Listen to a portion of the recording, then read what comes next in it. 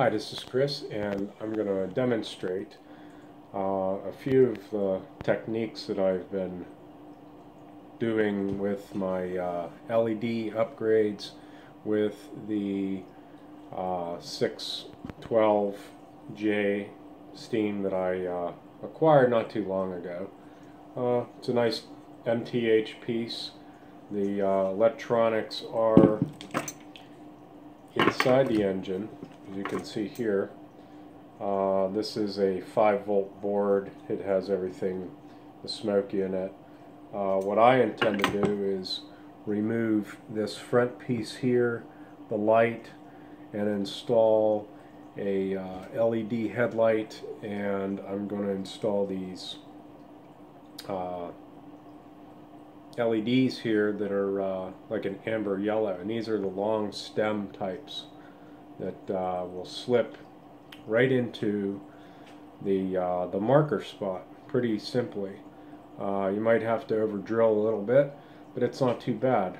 Uh, what I've done with the shell here is I've drilled the side out through the shell itself as you can see here.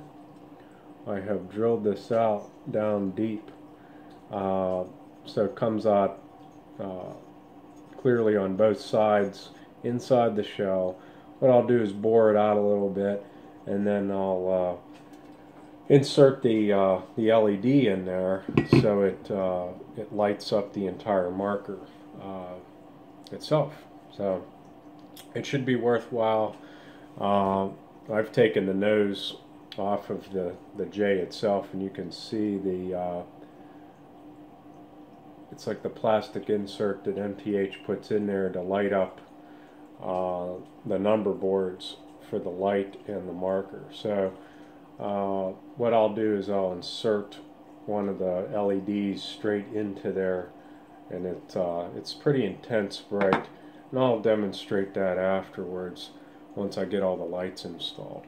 Uh, a couple things that I've ordered a bunch of uh, white LEDs there's about three or about three about 200 in here. Uh, I've ordered uh, those all came from Lighthouse LEDs uh, I've gotten these resistors. This is a 220 ohm quarter watt uh, resistor. And uh, that's that's for the uh, the electronics for the MTH. Uh, you want to use a resistor like that. I got this uh, Kynar copper core wire. It's Teflon coated. It's very thin. It's just like the stuff that Evans sells. It's very thin like that, and uh, I like I I, I love L the LEDs from Evans. Uh, but I don't necessarily need uh, that type of light that they supply. I, I wanted to get these types.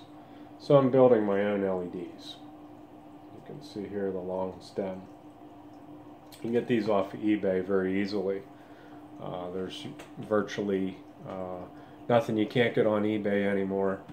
But uh, that's that's my project for now on the J.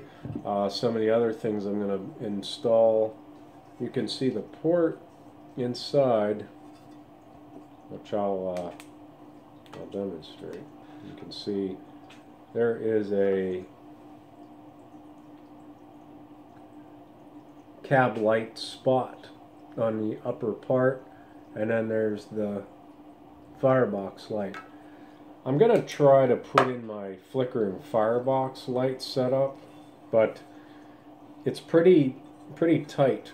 These spots in here don't give you a whole lot of room uh, to put. They do have a light there, which what I might do is do a very small kind of contraption that'll uh, fit because you need uh, to build the circuit what I might do is try to sneak it in the corner by the engine, wrap it around here, and put it on here rather than the shell, and just let it flicker uh, using the existing uh, mounting bracket that MTH uses for their firebox light. So I thought I'm going to create something like that and uh, that way you can tuck it in the shell without any issues. And then it's part of the engine itself. Uh, one thing I might do with the wiring is uh, put a clip so my my uh, markers and the headlight will all be part of the uh, original wire clip that the headlight lead goes to, which is right here. I'm going to reuse that wire setup to go to here, uh, to the headlight inside the shell. Then I'll just unplug it, and then I can work on the engine if I have to without messing with the shell or having the shell like right next to the engine, because that gets to be a pain if you're working on it. Uh, so that's some of the things I'm going to do. Uh, eventually, this 5 volt board will probably go uh, kaputs at some time, and I'll probably be doing a PS3 upgrade. Uh, this is actually what I can do is take this PS3 stacker board that I recently purchased. This is for a different engine, but these will fit nicely right inside here. Uh, the only thing you have to change out is the speaker, and that was part of the kit that I received. Uh, the mounting bracket and uh, the speaker itself for the PS3 upgrade.